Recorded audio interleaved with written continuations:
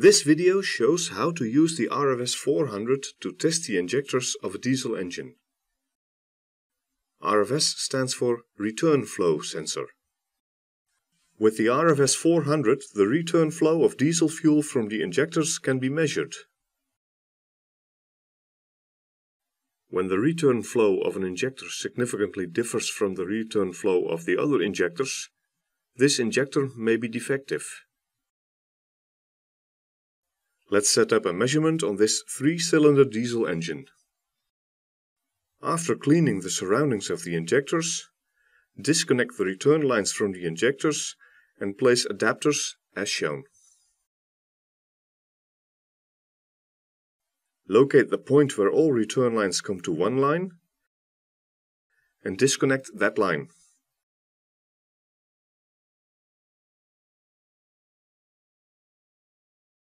Place an adapter here as well for the return line.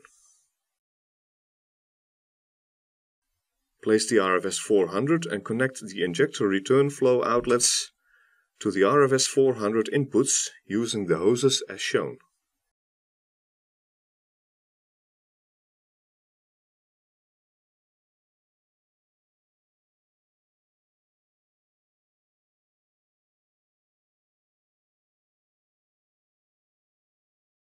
Connect the return line from the RFS 400 to the return line of the engine, so the return circuit is closed again.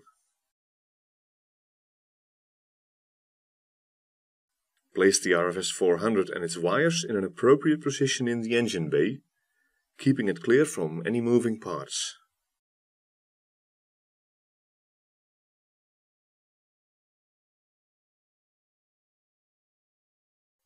Connect the RFS 400's power clamps to the car battery.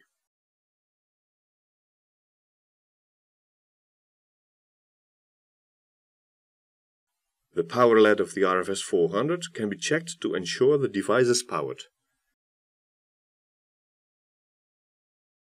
Connect the measuring leads from the lab scope to the RFS 400, matching the colors as shown.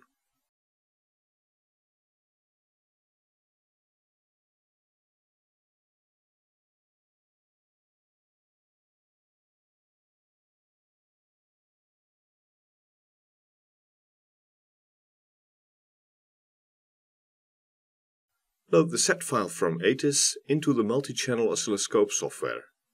Start the measurement by pressing hotkey S. Start the engine and let it stabilize to idle speed. Subsequently, rev the engine to establish a good return flow.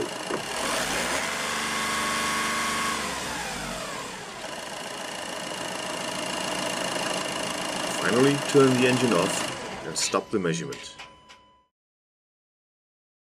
The return flow of the injectors can now be analyzed.